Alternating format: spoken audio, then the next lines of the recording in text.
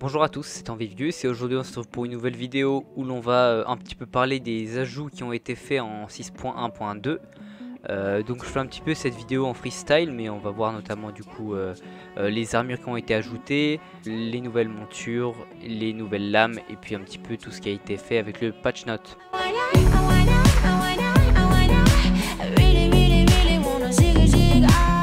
Donc j'ai mis mes graphismes ultra pour l'occasion, euh, j'espère que ça va pas trop laguer.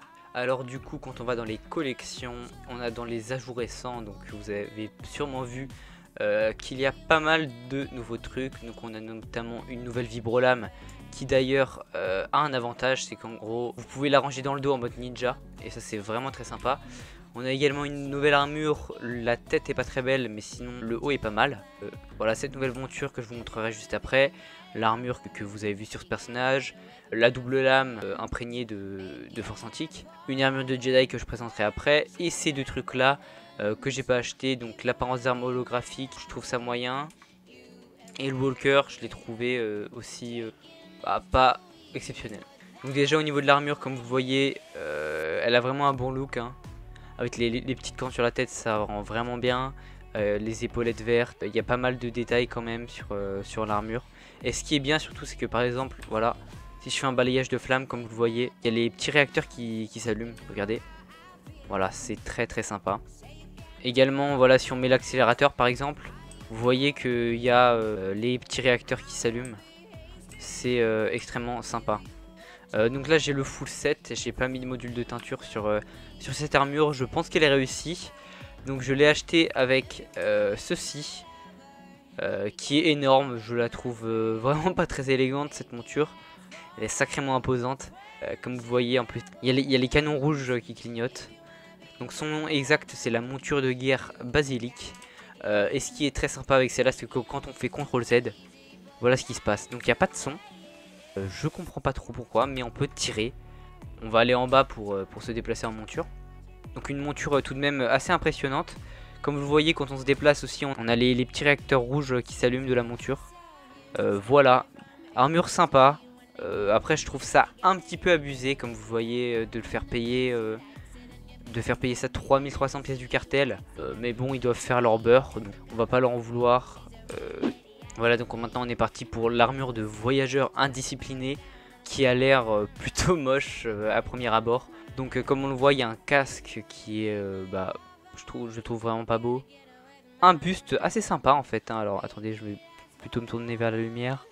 Euh, voyez là, il y, a des, y a même les, petits effets de cuir euh, sur, la veste. Avec euh, ici des, des, motifs. Je la trouve vraiment très sympa la veste. Une espèce de bandoulière qui traverse la veste du coup. La ceinture elle passe et on a également une espèce de, de jupe, enfin un espèce de, de kilt pour, euh, en termes de, pantalon. Et on a des bottes euh, assez lourdes, euh, comme vous voyez. Donc personnellement, ce que j'ai fait, j'ai remplacé les trucs qui ne m'allaient pas. Donc j'ai enlevé le casque, j'ai gardé bah, voilà, le, torse que je trouve sympa. J'ai mis un autre pantalon, j'ai mis apprenti de la force et j'ai mis des bottes sobres. Et j'ai gardé les gants aussi. Et je trouve que c'est beaucoup mieux comme ça. Donc je trouve que vraiment le plus réussi dans cette tenue c'est c'est le torse. Euh, je sais pas si elle sera beaucoup achetée, hein, parce que euh, euh, quand on voit le casque, ça peut être assez vite repoussant, on va dire. Mais bah voilà, je trouve qu'elle passe bien quand même, la, petite veste, et j'en suis plutôt assez satisfait. Donc voilà, l'armure de voyageur indiscipliné. Je vous conseille vraiment pas de, de dépenser 1440 pièces du cartel dedans. Hein. Donc je pense que ça peut passer sur n'importe quel euh, personnage, voilà, par, donc par exemple si vous avez, euh, je sais pas moi, un personnage euh, sur Tatooine par exemple, bah voilà, bah, c'est parfait par exemple, donc pour circuler sur Tatooine, je trouve que ça peut être vraiment sympa en fait, sur tout type de personnage. Et voilà, du coup maintenant on se retrouve pour parler de la dernière armure, donc dans la forteresse de, notre compagnon Nirmis, s'il passe par là, je lui passe le bonjour pour l'armure qui est pour moi la plus intéressante.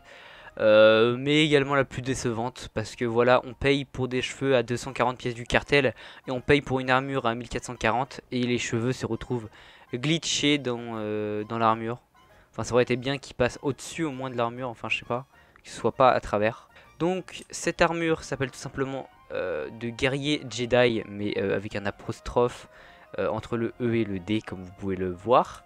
ce qui est super intéressant avec cette armure, bon voilà, elle a, elle a un petit décolleté déjà comme vous le voyez. c'est une armure bah, voilà, de, qui pourrait passer sur, sur un nombre Jedi ou un Assassin Sith comme vous le voyez. Avec un petit masque qui est, que j'aime vraiment beaucoup. Et ce qui est intéressant c'est que hop on va mettre... Il y a une version capuche et une version pas capuche. c'est intéressant. Euh, après, la version avec capuche, je la trouve pas très belle. Hein. Et du coup, je préfère largement la version euh, sans capuche. Euh, ce qui est aussi intéressant cette, avec cette armure, c'est que si je déploie mon arme, il y a les épaulettes bleues juste ici qui ont, qui ont spawné en fait. Et du coup, c'est extrêmement bien.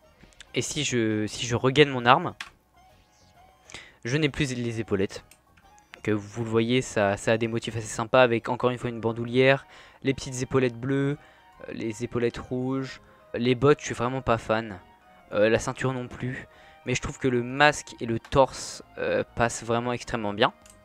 et du coup ce que j'ai fait c'est que j'ai mis un module de teinture blanc avec les bottes de Xoxan, un pantalon d'apprenti de la force et la tenue comme vous le voyez blanche en fait. Et je trouve que ça passe extrêmement bien c'est très joli. Le truc qui est euh, dommage, c'est que le masque ne, prend pas la teinture. Je trouve ça extrêmement dommage. Quand je fais unifier les couleurs, vous voyez, ça ça prend pas la teinture. Attendez, on va essayer avec un autre masque. Oui, bah voilà, ça prend la teinture. Bah, c'est pas logique. Euh, donc ce serait bien que BioWare corrige euh, les bugs de cheveux avec les nouvelles armures. Enfin, ce serait cool quand même parce que ils sortent des nouvelles armures qui, qui sont franchement jolies. Mais il y a des petits détails qui chiffonnent quoi. Enfin, moi j'ai pas envie de me promener comme ça sur Sotor en fait. Avec des, cheveux complètement glitchés. Euh, donc voilà, je trouve que l'armure est, sympa tout de même. Hein. Et on va également parler du dernier ajout. Alors, euh, on va aller sur un maraudeur pour parler de cet ajout tout simplement. Là ça se voit, ça se voit vachement quand même, euh, rien que sur le menu, qu'il y a des problèmes quoi. En plus c'est dommage parce que cette coupe de cheveux est franchement sympa. Hein. Bon allez, je vais craquer pour l'arme holographique pour vous montrer ce que c'est. Alors, en gros, au niveau des lames imprégnées de la force, voilà ce que ça donne euh, en maraudeur site. bon, j'ai peut-être pas pris le meilleur personnage pour vous le montrer. mais voilà, on a des espèces de, fourreaux en fait dans le dos. et c'est extrêmement classe, hein. c'est vraiment stylé. en plus, vous voyez que les lames sont bleues de base. voilà, et ça se croise en fait. Donc si vous voulez faire un cosplay ninja, euh, les lames sont vraiment extrêmement bien. Et ce qui est extrêmement intéressant en fait, c'est que imaginons qu'on prenne un cristal, euh, voilà un cristal violet, un cristal random. Et comme vous voyez déjà, euh, le fourreau est violet, ce qui est sympa. Et quand on dégaine les armes, on a tout simplement la couleur de cristal qui est, ben voilà, comme ça, sur, sur les lames. je trouve que ça rend franchement très bien. Euh, maintenant, le truc encore plus intéressant avec, euh, avec ces lames. Donc voilà, on a l'apparence des armes holographiques. Hop, on va l'appliquer, oui. La lame disparaît. C'est juste ouf en fait. C'est trop stylé. Donc, comme vous voyez, on peut voir l'intérieur euh, de l'arme. Ce, qui rend, ce qui rend super bien. hop, on va en choper une deuxième. voilà ce que ça donne avec les, avec les deux apparences fantômes en fait. et quand on déplie les armes, ça rend ça euh, moi je trouve ça franchement beau. Après je me demande pourquoi ils font autant d'efforts euh, pour mettre des items comme ça dans le cartel et pas plus d'efforts pour faire euh, un meilleur jeu. Non en vrai je trouve qu'ils ont fait vraiment du bon taf quand même globalement avec les nouveaux items du cartel là en 6.1.2. donc je vous mettrai l'article de Logi dans la description pour toutes les nouveautés de la 6.1.2. Donc normalement la saison 12 de PVP classé s'est terminée hier. Euh, le 24 juin euh, avec la 6.1.2. Il y a également le, nouvel événement, donc je sais pas si on peut le voir ici. Non, on peut pas le voir ici. Euh, donc le rassemblement des fonceurs, un truc comme ça, je crois que ça s'appelle comme ça. Il devrait y avoir les nuits de Narshada qui devraient arriver vers le 14 juillet, je crois. Et il y a eu également des changements de classe. Donc notamment, il y a eu une, un petit nerf du euh, Force Bound. Donc c'était un bonus de 7 à chaque fois qu'il y avait un grognement intimidant qui réduisait la précision de, l'ennemi de genre 100% pendant 6 secondes, qui était complètement abusé et ça a été nerfé à 75% je crois. Euh, il y a eu aussi des nouveaux bonus de 7, euh, des corrections. Donc par exemple, avant, je ne sais pas si vous vous souvenez, quand on faisait K pour, pour les aptitudes de combat, on ne pouvait que le fermer en faisant K. Maintenant, on peut faire échappe et ça se ferme. C'est incroyable. Euh, BioWare a corrigé ça au bout de plusieurs années.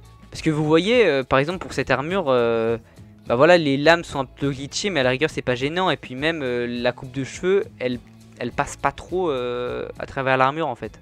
Ou alors, ça se voit pas trop trop que c'est glitché, alors que pour la nouvelle armure, ça se voit quand même beaucoup. Voilà, donc je vous remercie d'avoir regardé cette petite vidéo review des nouveautés du cartel. C'était Envivius, et moi je vous dis à la prochaine pour une nouvelle vidéo.